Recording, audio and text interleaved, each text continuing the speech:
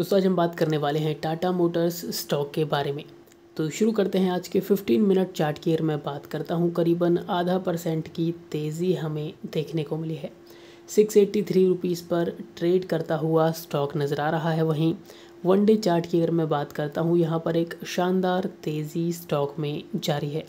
अगर यही तेज़ी कंटिन्यू रहती है तो आने वाले ट्रेडिंग सेशंस में जो टारगेट स्टॉक अचीव करेगा वो है 700 725 तक के टारगेट भी जल्द ही टाटा मोटर्स अचीव कर सकता है। तो अगर आपके पोर्टफोलियो में टाटा मोटर्स शामिल है कंटिन्यू होल्ड करें। यहाँ पर बाइंग का मौका भी स्टॉक बना रहा है तो बिल्कुल ख़रीदारी करके चल सकते हैं।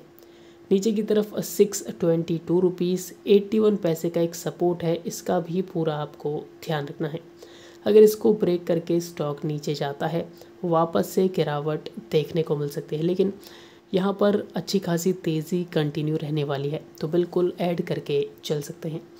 यही स्ट्रेटजी आपको अपनानी है टाटा मोटर्स में। वीडियो देखने के लिए आपका बहुत बहुत धन्यवाद।